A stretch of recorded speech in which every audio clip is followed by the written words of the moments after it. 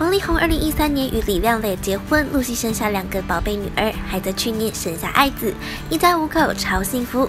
二十日，李亮磊在网络上晒出他与四岁大女儿的母女对话。只见一张绿色纸上写满了数字，让人看了一头雾水。李亮磊解释，这是女儿为了筹备她的生日礼物而写上数字进行倒数。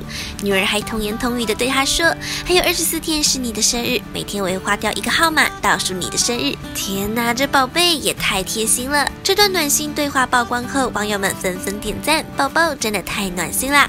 被感动的一塌糊涂。C 三娱乐整理报道。